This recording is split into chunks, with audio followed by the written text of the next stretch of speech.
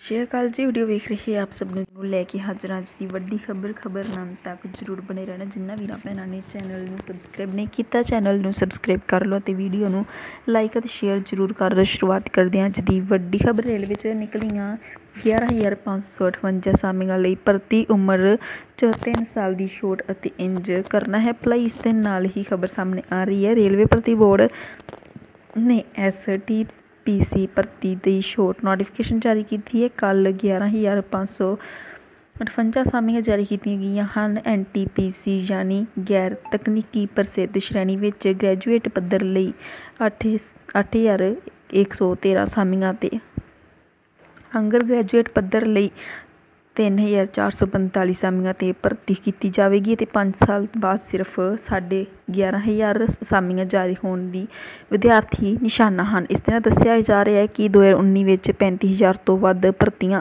ਕੀਤੀਆਂ ਗਈਆਂ ਸਨ। ਅਸਾਮੀਆਂ ਵਿੱਚ ਸਟੇਸ਼ਨ ਮਾਸਟਰ ਅਤੇ ਗੁਡਸ, ਟ੍ਰੇਨ ਮੈਨੇਜਰ ਅਤੇ ਸੀਨੀਅਰ ਕਲਚਰ ਕਮ ਟਾਈਮ ਇਸ ਦੇ ਨਾਲ ਆ ਰਹੇ ਹਨ। ਇਸ ਦੇ ਨਾਲ ਹੀ ਤੁਸੀਂ ਆਰ ਆਰ ਆਰ ਬੀ ਦੀ ਵੈਬਸਾਈਟ 'ਤੇ ਜਾ ਕੇ ਇਸ ਦੀ ਜਾਣਕਾਰੀ ਲੈ ਸਕਦੇ ਹੋ। ਖਬਰ ਨੂੰ ਅੰਤ ਤੱਕ ਵੇਖਣ ਲਈ ਆਪ ਸਭ ਦਾ ਧੰਨਵਾਦ ਅਤੇ ਵੀਡੀਓ ਨੂੰ ਲਾਈਕ ਅਤੇ ਸ਼ੇਅਰ ਜ਼ਰੂਰ ਕਰੋ। ਤੁਹਾਡਾ ਇੱਕ ਇੱਕ ਲਾਈਕ ਸਾਡੇ ਲਈ ਮੋਟੀਵੇਸ਼ਨ ਦਾ ਕੰਮ ਕਰਦਾ ਹੈ। ਧੰਨਵਾਦ।